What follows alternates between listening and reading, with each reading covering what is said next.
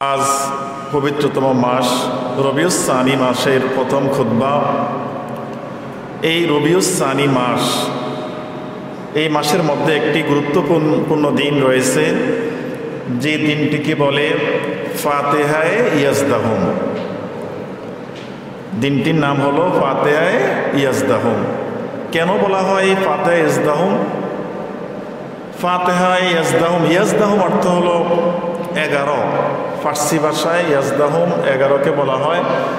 আর এই তারিখটিতে বাংলাদেশ সহকারে বিশ্বের প্রায় সকল মুসলিম রাষ্ট্রগুলি একদিনের ছুটি ঘোষণা করা হয় প্রতি বছর। আমাদের দেশেও আগামী বুধবার ফাতাই আজদাম উপলক্ষে সকল শিক্ষা প্রতিষ্ঠান বন্ধ ঘোষণা করা হয়েছে। কেন এই বন্ধ ঘোষণা, এই দিনটিকে উদযাপন, এই দিনটির গুরুত্ব প্রদান করা হয়েছে কেন?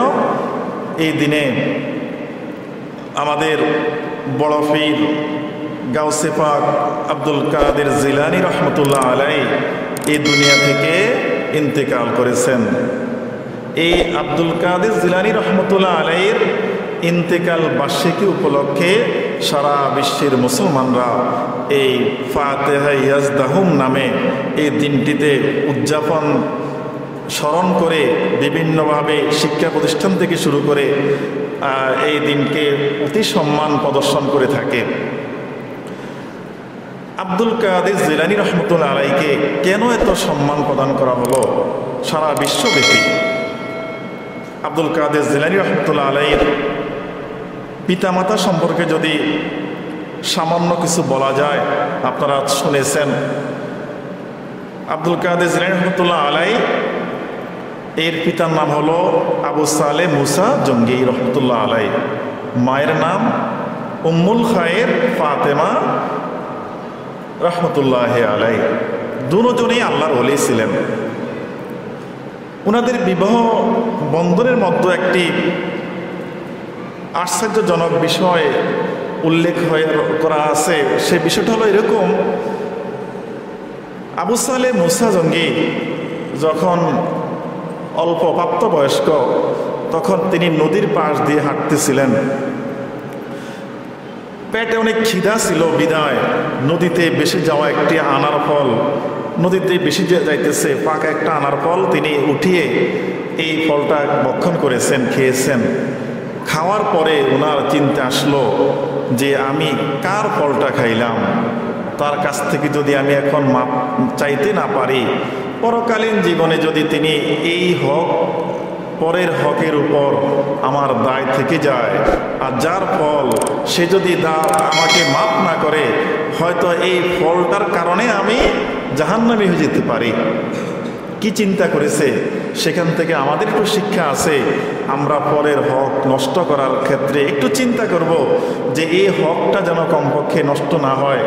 কারণ পরের হক নষ্ট করলে যার হক সে যদি ক্ষমা না করে দেয়, তাহলে এটা আল্লাহ পাকও ক্ষমা করেন না। এখন এই কি করা যায়? তিনি তো খেয়ে ফেলছেন আনার ফলটি। যেদিক থেকে স্রোত আসতেছে নদীর, সেদিকে আস্তে আস্তে হেঁটে হেঁটে গিয়ে দেখলেন বড় একটা বাগান। সেখানে খোঁজ করলেন, এই বাগানের মালিককে সামনে আসলো, বলল যে, আপনার এই বাগান থেকে একটা আনার ফল নদীতে পড়ে যাইতেছিল, আমার খিদা লেগেছে বিদায়। আমি ফলটা খেয়ে ফেলছি, আপনি আমাকে মাফ করে দেন। অথবা আপনার এটার মূল্যটা নিয়ে যান। ওই বাগানের মালিক ছিলেন আবার। তিনিও আল্লাহওয়ালা মানুষ ছিলেন। যখন হাজার হাজার ফল বাগান থেকে পড়ে যায় নদীতে, কেউই আসে না। এই লোকটা যেহেতু একটা ফলের মাপ নেওয়ার জন্য আসছে, বোঝা যায় তার ভিতরে আল্লাহ পাকের নূর ভিতরে আছে। আল্লাহ পাকের ভয় ভিতরে আছে, বিদায় সেই কাজটা করেছে।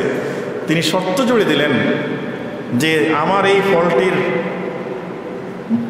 দায় আমি তোমাকে মুক্ত করতে পারি। তুমি আমার এই বাগানে শ্রম দিতে হবে। অর্থাৎ তিনি চাই আরও দেখতে চাইলেন যে এই যুবক, তিনি কতখানি আল্লাহর প্রতি বিশ্বাস এবং কতখানি আল্লাহ, তিনি আল্লাহকে ভয় করেন। থাকতেছেন থাকতেছেন যখন বাগানের মালিক দেখল যে এই ছেলেটি, যুবকটি অত্যন্ত মোয়াদ্দাব এবং নামাজ কালামে পুরা পাকা, আদব লেয়াজে পুরা পরিপূর্ণ। তখন আরও কিছু সময়কাল তাকে শর্ত দিলেন যে তুমি আমার বাগানে এই সময় পর্যন্ত যদি শ্রম দেও, তাহলে আমি তোমাকে মাফ করে দেব। বাড়িওয়ালার উদ্দেশ্য ছিল, তার ঘরে একটি মেয়ে ছিল, নাম ছিল উম্মুল খায়ের ফাতেমা। সে চিন্তা করল, তার মেয়েকে আবু সালে মোসা জঙ্গির কাছে তিনি বিবাহ দিবেন। আরও একটা কঠিন পরীক্ষা তিনি সামনে নিয়ে আসলেন। বলল যে, তুমি যখন মেয়াদ শেষ হলো, বলল যে, আমাকে মাফ করছেন, আপনার তো মেয়াদ শেষ। বলল, না এখনও তোমাকে মাফ করা যাবে না। আরেকটা আবদার যদি তুমি রাখো, তাহলে তোমাকে আমি মাফ করতে পারি। সেটা কি? আমার ঘরে কুৎসিত, কালো, ল্যাংলা পাও একটা না থাকলে যেটা, বোবা একটা মেয়ে আছে। এই মেয়েটাকে তুমি যদি বিবাহ করতে রাজি হও, তাহলে আমি তোমাকে তোমার এই দাবি মুক্ত করে দিব। কি একটা কঠিন পরীক্ষা পড়ে গেলেন যে এরকম মেয়েকে বিবাহ করা, এটা তো স্বাভাবিক। কোনো মানুষ অনেক চিন্তার পরও সিদ্ধান্ত নেবে না। তিনটা বোবাও, সে কুৎসিত, সে ল্যাংলাও। তিনটা যখন এত, এই গুরুত্বপূর্ণ অঙ্গহানি, সেখানে একে ঘর সংসার করবেন কীভাবে? পরবর্তীতে চিন্তা করলেন আমি যদি ক্ষমা না নিতে পারি, তাহলে পরকালীন জীবনে আমি যদি ধরা খেয়ে যাই, এই ফলের কারণে, এই দাবির কারণে, তাহলে জাহান্নামের আগুনে জ্বলতে হবে। তার থেকে এই তিনি যেভাবে বলছেন, এই মেয়েটাকে নিয়ে ঘর সংসার করব, এটাই আমার জন্য অনেক ভালো। তারপর আমি পরকালীন জীবন নষ্ট করতে চাই না। বিবাহ হয়ে গেল। কন্যাকে আর দেখলেন না। ওই মুখের কথার উপরে বিশ্বাস করে ফেললেন। যখন তাদেরকে আবু সালে মোসা জঙ্গিকে আব্দুল কাদের জিলানি পিতাকে বাসর ঘরে দিলেন, যাইতে বললেন, তিনি গিয়ে একটা আওয়াজ করে, চিৎকার করে তাড়াতাড়ি ঘর থেকে বেরিয়ে চলে আসছেন। তখন ওই বাগানের মালিক, অর্থাৎ তার শ্বশুর, আসে বলল যে, আপনি আমাকে কি পরিমাণ ধোকা দিয়েছেন? একটা বেগানা নারীর ঘরে আমাকে পাঠিয়ে দিলেন। তো বলল যে, বেগানা নারী কেন? যে আপনি তো বলছেন আপনার মেয়ে এই গুণ কুৎসিত, কালো ল্যাংলা তারপরে সে বোবা। এখন আমি গিয়ে দেখি সে তো একেবারে সুন্দরী মেয়ে। এই জন্য আমি চলে আসছি। বলল যে, এটি উম্মুল খায়ের ফাতেমা, এই আমার মেয়ে, একেই তোমার কাছে আমি বিবাহ দিয়েছি। তাহলে আপনি যে বলছেন আমাকে, বলল, বাবা, আমি তোমাকে সর্বশেষ পরীক্ষাটুকু করার জন্য এই কথাগুলো বলছি মাজাজি অর্থে, রূপক অর্থে বলেছি, সেটা কেমন? যে আমি কুৎসিত বলেছি, আমার এই মেয়ের রূপ, সৌন্দর্য দুনিয়ার কোনো বেগানা পুরুষ দেখে নাই, বিদায় তাকে আমি কি বলেছি?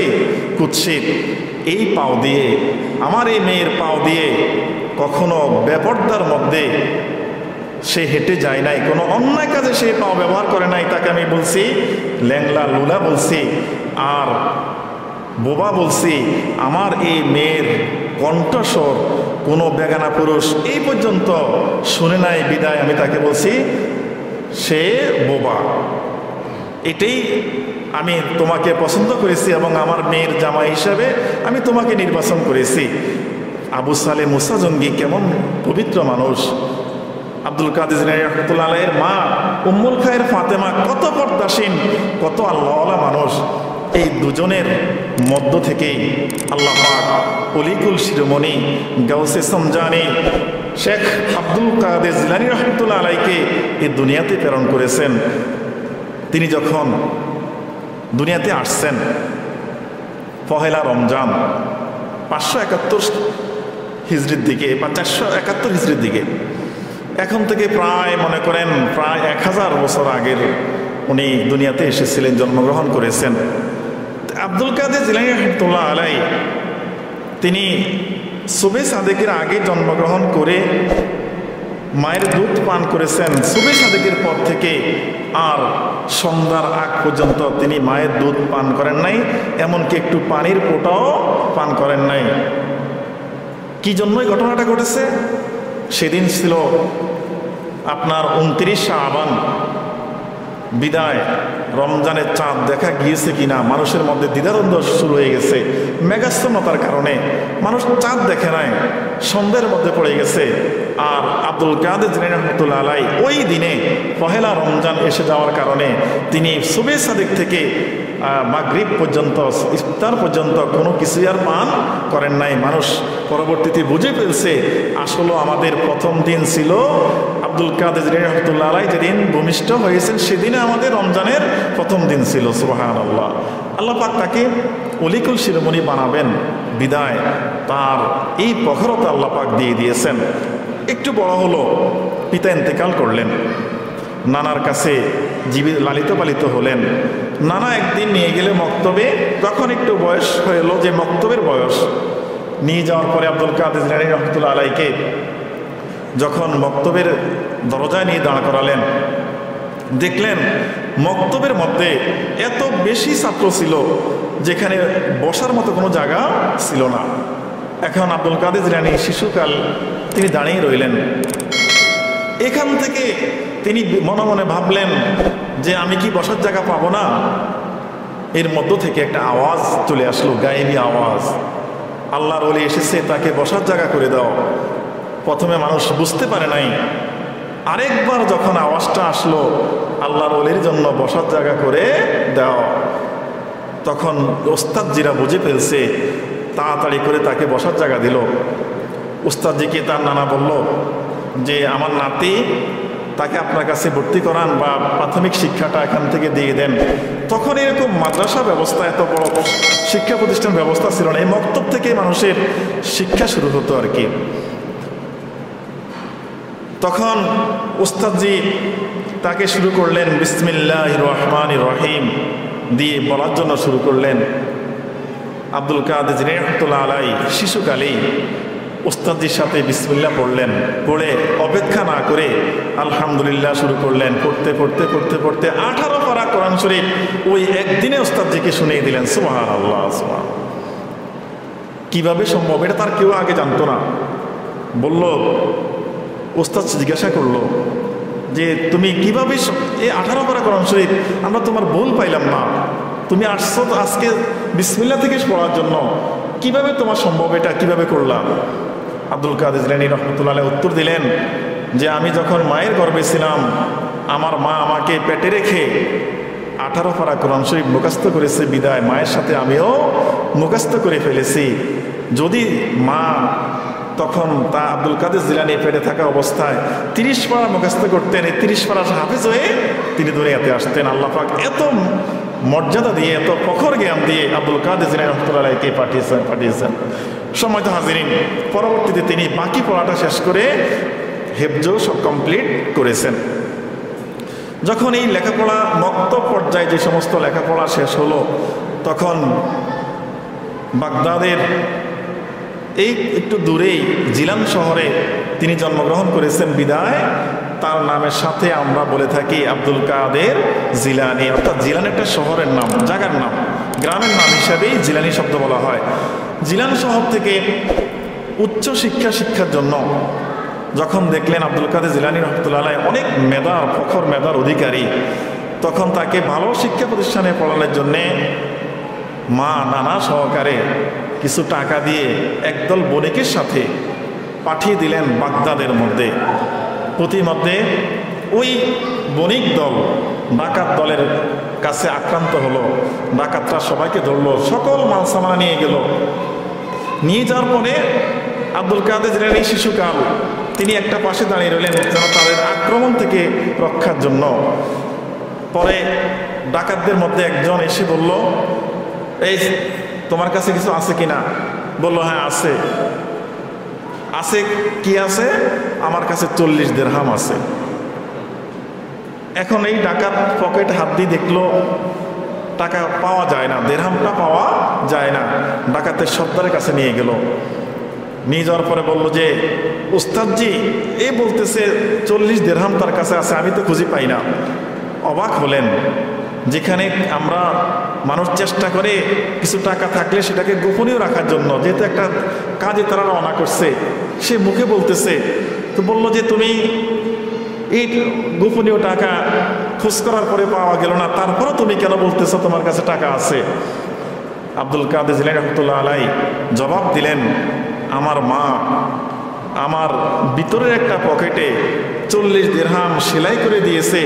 আর একটা কথা বলে দিয়েছে, বাবা, তুমি কখনো মিথ্যা কথা বলো না।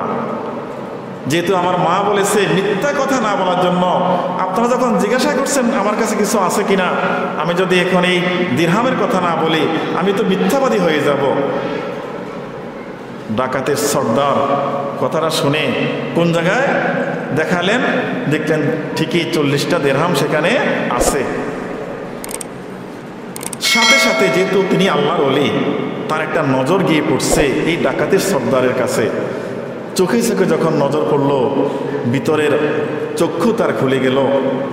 ডাকাত চিন্তা করলেন যে, আমরা এত অন্যায় করতেছি আর এখানে শিশুটা আমাদেরকে আজকে কি শিক্ষা দিল? আমরা টাকা খুঁজে পাই না, শেষ আমাদেরকে নিজে নিজেই টাকাগুলো দিতেছে, অথচ তাকে আমরা কোনো জোর প্রয়োগ, বল প্রয়োগ করি না। তখন এই শিশুর কাছেই এই ডাকাত সর্দার সহকারে যারা ছিল, আব্দুল কাদের রহমতুল্লাহ কাছে হাত রেখে অন্যায় পথ ছেড়ে দিয়ে সেদিন থেকে তারা ন্যায়ের পথে এবং এমনকি এই দলের ডাকাত দলে যারা ছিল, প্রত্যেকেই পরবর্তীতে আল্লাহর অলি হয়ে গেছে সোহান আল্লাহ আব্দুল কাদের রহমতুল্লাহ শিক্ষা দীক্ষা দেওয়ার পরে তিনি যখন এলমে শরীয়তের সকল শিক্ষা অর্জন করলেন, তখন দেখলেন মানুষ এত বেশি বিভ্রান্তির মধ্যে পড়ে আছে, মুসলমান যারাই আছে নামাজ কালাম, শরীয়ত মতো চলে না, হালাল হারাম তমিজ করে না, অন্যায় অপরাধের মধ্যে লিপ্ত, আর বিদর্মীরা তো আছেই। এই এক কঠিন মুহূর্তে আব্দুল কাদের রহমতুল্লাহ আলাই আধ্যাত্মিকতার মধ্যে অংশগ্রহণ করে ফেললেন। নিজেকে একজন শায়েকের কাছে নিয়ে তরিকতপন্থী হয়ে গেলেন। তাসাউফ শিক্ষার সাথে সাথে এলমে দিন শিক্ষা করে তিনি এমন সাধনা শুরু করলেন, তার জীবনীতে লেখা আসছে তিনি চল্লিশ বছর একাধারে, চল্লিশ বছর এশার নামাজের উজু দিয়ে ফজর নামাজ আদায় করেছেন। এটা কীভাবে সম্ভব? ঘুম গিয়েছেন দিনের বেলা কিছু। রাত্রে কিতাবাদি লিখতেন, জিকির করতেন, তার অজিফা আদায় করতেন, করতে করতে এশার নামাজ আদায় করতেন একটু দেরি করে। এই আদায় করে তার বিভিন্নভাবে ওজিফা নফর এবাদত তাহাজ্যত নামাজ হয়ে যেত। তাহাজ্যত নামাজ আদায় করে, ফজর নামাজ আদায় করে, সেখানে আবার বসে এরশাক নামাজ শেষ করে তারপরে তিনি বিশ্রাম নিতেন। এই সাধনা তরিকতপন্থীরা এই সাধনা যে করে থাকে, সাধনা ছাড়া কিছুই অর্জন হয় না, সম্ভব না। আবার আপনি সাধনা করবেন। সাধনা করতে গিয়ে যদি ওস্তাদ না থাকে, শায়েক না থাকে তাহলে তাসাউপের পথটা এমন একটা কঠিন পথ, যখন এই পথে কেউ পাওয়া দেয়, তার বিভিন্ন বিপদ চলে আসে। শয়তান তাকে এত বেশি ধোকা দিয়ে থাকে, নেক কারকে নেক স্রোতে ধোকা দেয়। আপনি নামাজি, একজন নামাজি স্রোতে আপনাকে ধোকা দিবে। আপনি যখন জিকির করতেছেন, একজন জিকিরওয়ালা সেজে আপনাকে সে ধোকা দিয়ে দেবে। এই জন্য শায়েকের দরকার। আব্দুল কাদের জিরানি শাইকের হাতে হাত রেখে তাসাউফের অর্জন করলেন। পরবর্তীতে বিশাল জিন্দিগির মধ্যে আব্দুল কাদের জিলানি রহমতুল্লাহ আলাই সর্বশেষ যখন ইন্তেকাল করেন, পাঁচশো একষট্টি হিজড়িতে এই ইন্তেকাল করেছেন রবিউসানি মাসের এগারো তারিখ। এই এগারো তারিখ ইন্তেকাল করেছেন, বিদায় এই দিনটাকে ফাতেহায় ইয়াজ দাহুম বলা হয়, এগারো তারিখ বলা হয়। তিনি যখন ইন্তেকাল করেছেন, করার পর তার সহচর যাদেরকে রেখেছেন শিষ্য যাদেরকে রেখেছেন এর মধ্যে গুরুত্বপূর্ণ উল্লেখযোগ্য তিনশো তেরো জন শিষ্য তিনি রেখে গিয়েছিলেন। এর মধ্যে আধ্যাত্মিকতার স্তরের মধ্যে সবাই আল্লাহর অলি হয়েছে। আল্লাহর অলি করে তিনি রেখে গিয়েছেন। এদের মধ্যে চল্লিশ জনে ছিল আবদাল পর্যায়ের অলি যেখানে সারা বিশ্বের মধ্যে সত্তর জন মাত্র একই সময় আবদাল স্তরের অলি থাকে। আব্দুল কাদের জিরাই রহমতুল্লাহের হাতে তার শিষ্যের মধ্যে তখনকার সময় চল্লিশ জন আবদাল ফরজের অলি ছিলেন এবং অন্যরা বিভিন্ন স্তরের অলি হয়ে এমনকি গাউস পর্যন্ত তিনি রেখে গিয়েছেন। আর আব্দুল কাদের জেনে হলো বিশ্বের যত গাউস ছিল সকল গাউসদের একবারে নেতা হয়ে তিনি ইন্তেকাল করেছেন, বিদায় তাকে বলা হয় গাউসুল আজম। অর্থাৎ যত গাউস আছে, প্রত্যেক গাউসদের সর্দার নেতা, যত অলি রয়েছে, অলিদের অলিকুল শিরোমণি আব্দুল কাদের জিলানি রহমতুল্লাহ আলাই দেখেন, আব্দুল কাদের জিলানি রহমতুল্লাহ আলাই এই যে শিষ্যদেরকে রেখে গিয়েছেন, এদেরকে কিছু তরিকার, কিছু সবক দিয়েছেন।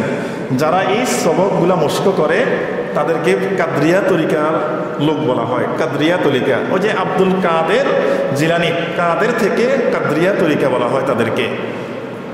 কাদরিয়া তরিকার পরবর্তীতে যারা এই শিষ্য আছেন, তারা আবার এটাকে তরিকা, একটা তরিকার রূপান্তর করেছেন, কিতাব লিখেছেন। মানুষদেরকে ওই হিসাবে মানুষ যেন এই তরিকা মস্ক করে তারা আল্লাহকে এলমে মারে মারেফাতের অর্জন, দিক অর্জনে করতে পারে এবং আল্লাহ হতে পারে। সেই জন্য আব্দুল কাদের রহমতুল্লাহ আলের কাদরিয়া তরিকার মধ্যে অত বেশি পরিশ্রমী আমল নয়। যেমন এশার নামাজের পরে একশো বার দুরুশরীফ আল্লাহুম্মা সাল্লি আলা মাদানিল জুদি ওয়াল কারামি ওয়া আলিহি ওয়াসাল্লিম এই দুরূদ শরীফ কাদরিয়া তরিকায় একশো বার এশার নামাজের পরে। হ্যাঁ দুরূদ শরীফটা হলো সাল্লি আলা সাইয়্যিদিনা মুহাম্মাদিন মাদানিল জুদি ওয়াল কারামি ওয়া আলিহি ওয়াসাল্লিম এই দুরূদ শরীফ একশো বার আর ফজর নামাজের পরে আবার একশো বার শরীফ। যেহেতু ফজর নামাজ জামাতে আদায় করার পর এরশাক পর্যন্ত কেউ যদি অপেক্ষা করে, এরশাক অর্থাৎ এই পনেরো বিশ মিনিট সময় লাগে এই সূর্য উদয়ের পনেরো মিনিট পর। কেউ যদি এরশাক পর্যন্ত অপেক্ষা করে দুই রাকাত নামাজ আদায় করে রাসুল পাক সাল্লামের হাদিস শরীফে আল্লাহ রাসুল বলেন, তার জন্য আল্লাহ পাক একটি হজ এবং একটি উমরা সব আমল্লামায় রেখে দেন সুহান আল্লাহ তাহলে ফজর নামাজ আদায় করে যদি এরকম দুরুশরীফ খানা এই একশো বার পড়া যায় আস্তে আস্তে সময়টা হয়ে যায়। দুরুশরীফটা কি কাদিয়া তরিকা দুরুশরীফ আব্দুল কাদের রহমতুল্লাহ যে দুরুশরীফ শিখিয়েছেন, ফজরের নামাজের পাঠ পড়ার জন্য আল্লাহ সাল্লি আলা সঈদিনা মোহাম্মদিন সঈদুল মুরসালিন ওয়ালা আরশাদুল আউলিয়াই আর শাইখ ওয়া আব্দুল কাদের জিলানি ওল আউলিয়াইল কামিলিন রাদিয়াল্লাহু তাআলা আনহু এই দুরূদ শরীফ ফজরের বাদে 100 বার এই তিনি এটা শিখিয়ে দিয়েছেন তো আবার বলতেছি اللهم صل على سيدنا محمد سيد المرسلين وعلى أرشاد الأولاده الشيخ আব্দুল কাদের জিলানি ইমামুত তরিকাতে ওয়াল আউলিয়াইল কামিলিনা রাদিয়াল্লাহু তাআলা আনহু। এই দৃশ্যে আব্দুল কাদের জিলানি কাদরিয়া তরিকাতে একশো বার তিনি এটা তরিকা হিসাবে সাব্যস্ত করে দিয়েছেন। আর সারাদিনের মধ্যে এক জোরফি জিকির রয়েছে কাদরিয়া তরিকায়। যারা পারেন আসলে কাদরিয়া তরিকা আব্দুল কাদের জিলানি এই আবার গাউসিয়া যেটাই বলেন, আপনি যদি তরিকার পন্থী না হন, তাহলে এর নাম দিয়ে নাম দিয়ে কোনো কাজ হবে না, মুক্তি পাওয়া যাবে না। নাম দিয়ে কোনো কাজে আসবে না। যদি আমলে জিন্দিগিতে না করতে পারে, ওনারা আমল শিক্ষা দিয়েছেন। ওনারা আমল করে আল্লাহওয়ালা হয়েছেন। সে আমলগুলো আমাদেরকে শিক্ষা দিয়েছেন। এই আমলগুলো যদি ঠিকমতো শিক্ষা আমরা এই দৈনন্দিন আমল করতে পারি, তাহলে আমরা আল্লাহর দিকে হাত পা বাড়াতে পারব। একজোটপি জিকির? তিনি কীভাবে দিয়েছেন সেটা? সেটা হলো এই দিল থেকে, গলা থেকে আল্লাহ শব্দ টান দিয়ে, হু শব্দটা আমাদের বাম পাশে বুকের মধ্যে যে কল রয়েছে, সেই কলের মধ্যে ধাক্কা দেওয়া। আল্লাহ আল্লাহ। ধাক্কা দিতে হবে খেয়ালের সাথে। এই এক জরফি জিকির আবার দুই জরফি জিকির আছে। প্রথমবার দিতে বসে ডান পায়ে রানের মধ্যে দ্বিতীয়বার এই কলবের মধ্যে। এইভাবে সামনে দুই পায়ের এই বিভিন্ন লতিফার মধ্যে এই আল্লাহু শব্দ আস্তে আস্তে ধাক্কা দিয়ে মানুষটা আস্তে আস্তে এই শয়তান থেকে তার অঙ্গে, বিভিন্ন অঙ্গে যেখানে শয়তান বসে ধোকা দেয়, এই তরিকার মাধ্যমে তার এই অঙ্গ থেকে শয়তানের আস্তানাগুলা ভেঙ্গে চুরে দিয়ে সবখানে একমাত্র আল্লাহ পাকের স্থান দিয়ে দেওয়া। এটাই তরিকার মানুষকে শিক্ষা দিয়ে দেয়, মানুষটাকে আল্লাহলা করে ফেলে। এই যে আব্দুল কাদের জিলের রহমতুল্লাহ আলাই কাদরিয়া তরিকা শিক্ষা দিয়েছেন, আমরা আব্দুল কাদের জিলের রহমতুল্লাহ আলাই জীবনই জানলাম। ওনার শান মান শুনলাম। ওনাকে আমরা সবসময় সারা বিশ্বব্যাপী স্মরণ করি। এই স্মরণটা কেন হলো? কীভাবে হলো? রাসুল পাক সাল্লাহ সাল্লাম রবিউল আউ্য়াল মাসের বারোই রবিউল আউ্য়াল জন্মগ্রহণ করেছেন। দুনিয়াতে তাশরিফ এনেছেন আব্দুল কাদের জিলানি রহমতুল্লাহ আলাই প্রত্যেক মাসের, যখন আরবি মাসের বারো তারিখ আসে, তখন আল্লাহ রাসুসলাম এই তারিখে জন্মগ্রহণ করেছেন বিদায়। তিনি এক্সট্রা কিছু আয়োজন করতেন। শুধু আল্লাহ রাসুলের সম্মানে মৃত্যুর আগে তার জীবনীতে আসছে?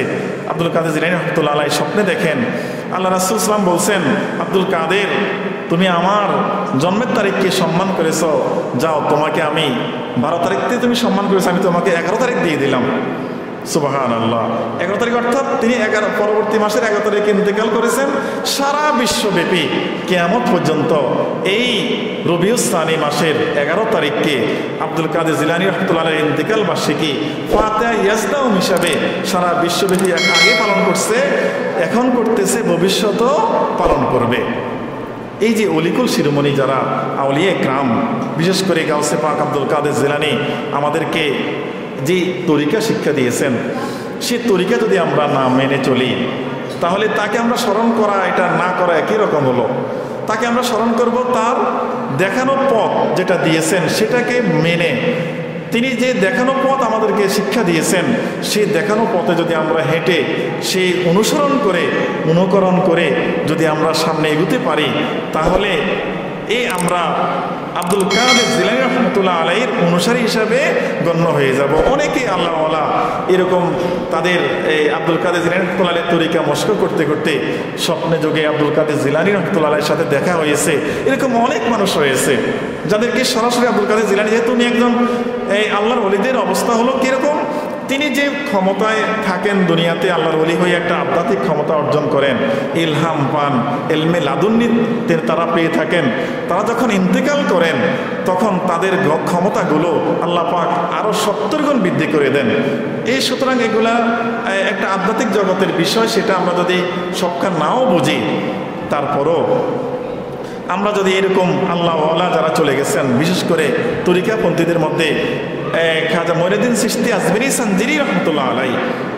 এই মইনুদ্দিন সৃষ্টি রহমতুল্লাহ আলাইয়ের যে তরিকার নাম সৃষ্টিয়া তরিকা, এরকম মইনুদ্দিন সৃষ্টি যেভাবে আমল করেছেন, তার শিষ্যদেরকে যেভাবে আমল শিক্ষা দিয়েছেন, সেটা কিতাব আকারে এসেছে। সেই তরিকার নাম বলা হয় সৃষ্টিয়া তরিকা। আব্দুল কাদের জিলানি রহমতুল্লাহ আলাই যে তরিকা শিক্ষা দিয়েছেন, যে তরিকা তিনি সবক মস্ক করেছেন, শিশুদেরকে বলেছেন, সে তরিকার নাম হলো কাদ্রিয়া তরিকা। তারপরে মোজাদ্দ আলফিসানি রহমতুল্লা আলাই তিনি যে তরিকা নিজে শিক্ষা করেছেন, তার শিষ্যদেরকে শিক্ষা দিয়েছেন, সেটার নাম মোজাদ্দেদি তরিকা। এইভাবে মোজাদ্দেদ আলফিসানি রহমতুল্লাহ আলাই বাহাউদ্দিন নকশবন্দি রহমতুল্লা আলাই বাহাউদ্দিন নকশবন্দি রহমতুল্লাহ আলাই যে তরিকা শিক্ষা করেছেন, শিষ্যদেরকে শিক্ষা দিয়েছেন, সেই তরিকার নাম হলো নকশবন্দি তরিকা। তাহলে আমরা চারটা তরিকার কথা পেলাম। চার তরিকার চার ইমাম আমরা জানি। এই চিস্তিয়া কাদ্রিয়া, নকশবন্দি দিয়া মুজাদ্দে দিয়া। এই চার তরিকার চার মাসায় মানুষ অনেক সময় এক একটা তরিকার পথ ধরে এটা ইসলামের পথে থেকে ইসলামের জাহিরি সকল বিধানগুলো মেনে তারপরে আল্লাহওয়ালাদের একটা পথ ধরে যে তিনি আল্লাহওয়ালা যেভাবে সবক আমাদেরকে দিয়েছেন।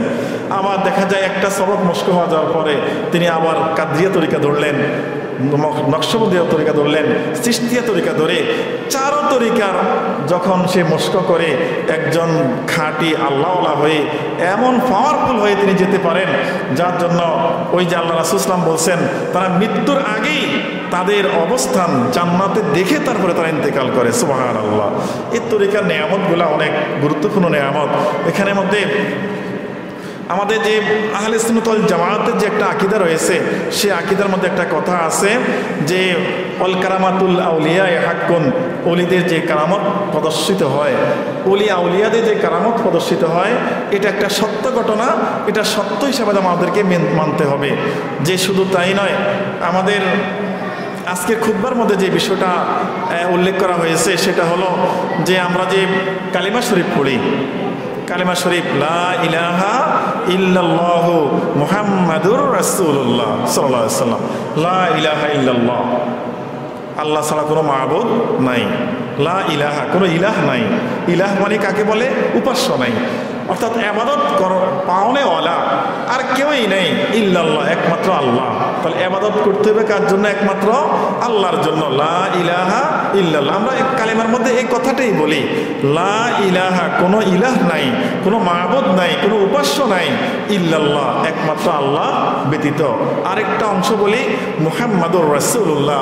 মুহাম্মদ সাল্লাল্লাহু সাল্লাম আমাদের জন্য যে রাসূলকে পাঠানো হয়েছে, আমরা রাসূলুল্লাহ, আল্লাহ তাআলার পক্ষ থেকে প্রেরিত পুরুষ রাসুল শব্দের বাংলা অর্থ হলো প্রেরিত পুরুষ, অর্থাৎ আল্লাহ পাক কোরআনে মাজিদ মতো একটা ভান্ডার দিয়ে আল্লাহ রাসুল ইসলামকে আমাদের নিকট প্রেরণ করেছেন। আমরা এই কথাটা স্বীকার করতেছি। দুটা জিনিস স্বীকার করলাম। আমাদের উপাস্য, লা ইলাহা ইল্লাল্লাহ, আমাদের উপাস্য নাই, কোনো এবাদত বন্দিগি পাওয়ানেওয়ালা আর কেউ নাই, আমাদের রিজিকদাতা, রহমদাতা, করুণার মালিক আর কেউই নেই। ইল্লাল্লাহ একমাত্র আল্লাহ এটাকে পরিপূর্ণ অন্তর দিয়ে যদি আমরা বিশ্বাস করে থাকি, আর মোহাম্মদুর রাসুল্লাহ আল্লাহ রাসুল সাল্লাহ সাল্লাম, আল্লাহর পক্ষ থেকে একজন প্রেরিত পুরুষ, আল্লাহর পক্ষ থেকে একজন প্রেরিত রাসুল এটার মধ্যে আমরা পরিপূর্ণ বিশ্বাস করলে আমরা এই কালিমা পড়ে মুসলমান হলাম ইমানদার হলাম। এই লাইলাহার মধ্যে আবার একটা বিশ্লেষণ আল্লাহ পাক দিয়ে দিয়েছেন, সুরে ক্লাসের মধ্যে কুলহলার মধ্যে। আল্লাহ সাল্লাহ কোনো মাহবুদ আল্লাহ কেমন? কুল হু আল্লাহ আহাদ। আল্লাহ আল্লাহ বলেন এই সুরে ক্লাসের মধ্যে এই রাসুল, আপনি বলে দেন, আল্লাহ আহাদ, আল্লাহ একক। যার কোনো দ্বিতীয় নাই, আগেও নাই, পরেও নাই, একমাত্র আল্লাহ। অহে দেখ, আল্লাহ হুসামান আল্লাহ মুখাপেক্ষীহীন। আল্লাহ পাক কারও নিকট কোনো কিছুর জন্য মুখাপেক্ষী হওয়া লাগে না, বরং সৃষ্টি জগৎ, আঠারো হাজার মাখলুকাত যারা আছে, সকল মাখলুক আল্লাহর দিকে মুখাপেক্ষী। আল্লাহ পাক কারও মুখাপেক্ষী নন। এই কথাটা সুরে এখলাসের মধ্যে আল্লাহ পাক ঘোষণা করে দিয়েছেন, সেটা আমরা স্বীকৃতি দিয়ে থাকি। লাম ইয়ালিদ ওলাম ইউলাদ। লাম ইয়ালিদ ওলাম ইউলাদ। আল্লাহ পাক কাউকে জন্ম দেন না, কাউ থেকে তিনি জন্ম হন না। কারণ আমরা স্বাভাবিক মানুষের দিকে লক্ষ্য করলে বুঝি যে হয়তো এই মানুষটাকে কে? তার পিতা আছে, অথবা সে তার বংশধর রেখে গেছেন এরকম কোনো কিছু আল্লাহ পাক সম্পূর্ণ এই কারও জন্ম দেওয়া, জন্ম নেওয়া এরকম থেকে সম্পূর্ণ মুক্ত আল্লাহ পাক কোরআন শরীফে সুরে ক্লাসে বলে দিয়েছেন। ওলাম ইয়াকুল্লাহু কুফুয়ান আহাদ। কোন ব্যক্তি কোনো কিছুই তার সমকক্ষ হতে পারে না। আল্লাহ পাকের উপর আমাদের এই চরম বিশ্বাসটা এমনভাবে রাখতে হবে, বিন্দু মাত্র, বিন্দু বিসর্গ যেন আমাদের এখানে এই কোনো কুফুরিয়ত, অস্বীকার, সন্দেহ না আসে। থাকলে আমাদের এই কালেমা হলো না। আর আমাদের ইমান থেকে আমরা দুর্বল হয়ে গেলাম, বেশি যদি করে ফেলে ইমান নষ্ট হয়ে যাবে। আল্লাহ রাসুল ইসলামকে আমরা রাসুল হিসাবে মানতেছি। রাসুল পাক সাল্লাম আল্লাহ পাকের পক্ষ থেকে প্রেরিত পুরুষ হয়েছেন আমাদের। যদি আমরা রাসুলের মানার ক্ষেত্রে যদি বিন্দু মাত্র সন্দেহ করি, কোরআন, কোরআনের মধ্যে, কোরআনের মাঝের মধ্যে আমাদের সন্দেহ চলে আসবে, বিদায়, আল্লাহ রাসুলের প্রতি আমাদের পরিপূর্ণ বিশ্বাস আমরা যদি করি, তাহলে আমরা ইমানদার হতে পারব। আল্লাহ পাক আমাদেরকে উলি আউলিয়া যারা চলে গেছেন, তাদের পথ, মত অনুসরণ করে, বিশেষ করে সিস্তিয়া, কাদরিয়া, নকশবন্দিয়া, মুজাদ্দিদিয়া চারটা তরিকার সাথে যেন আমরা হক, চারটা তরিকার সাথে যেন সম্পৃক্ত থাকতে পারি। আর আল্লাহ এবং আল্লাহ রাসুলকে সবসময় আমাদের কাছে মনে এবাদতে সবসময় রাখতে পারি। আল্লাহ পাক আমাদেরকে তৌফিক দান করুক সবরনা আমিন। ওয়াখির দেওয়ানা আলহামদুলিল্লাহ রব্বিল আলমিন।